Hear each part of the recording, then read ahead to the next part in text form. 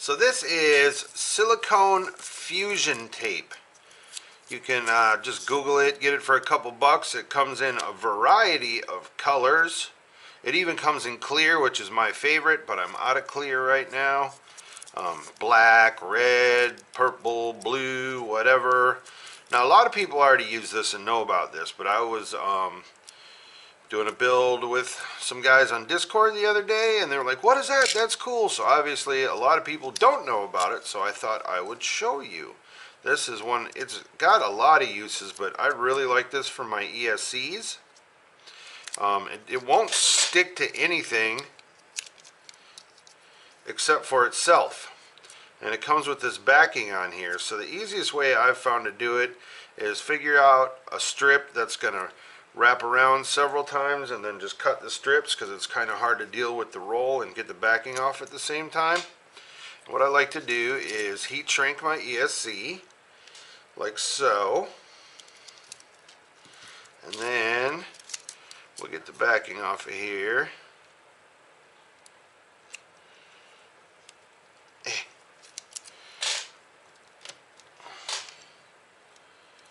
We'll get the backing off of here. We'll get the backing off of here.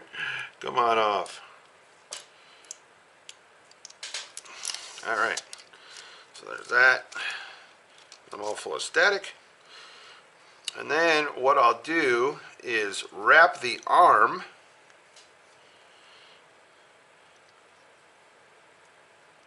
with this first right under the ESC like so and as you can see it sticks to itself and it's very stretchy. So now that I have it around the arm that's going to provide my insulation for my ESC from shorting out on the arm. And then get that out of the way and then I wrap the ESC itself and you can stretch this out pretty good and get a real good grip on the ESC there. And I always want to make sure that I I always make sure I cut it long enough to go over the top of the ESC twice. And it will actually provide very good prop strike protection because it's pretty thick and pretty durable and pretty strong.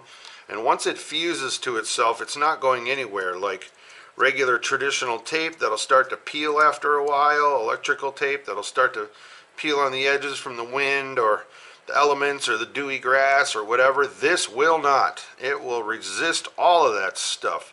And I have actually successfully if I'm very careful, I can peel this off, and I've reused this before several times, or had a problem in the field and was able to peel this off nice and easy as long as I take my time and don't tear it. I can usually get it to peel off of there and um, use it over. And as you can see, now it's isolated, it's silicone, so it's vibration dampening, and it holds the ESCs in very, very securely. And it's completely waterproof and electrical proof and it won't ground to the frame or anything like that.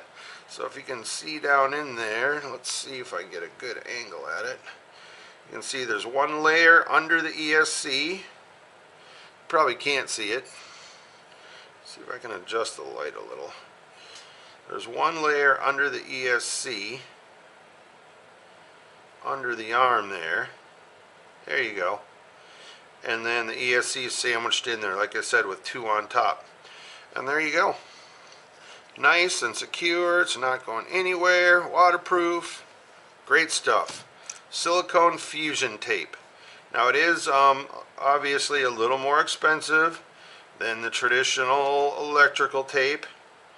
But being that it's reusable and I only need to use a little strip of it and I don't have to use the double-sided sticky tape that also fails sometimes after it gets dewy and wet and in the grass and whatever it can come apart this will not so there you go like I said it has a multitude of uses but I really like it for my ESCs fantastic stuff.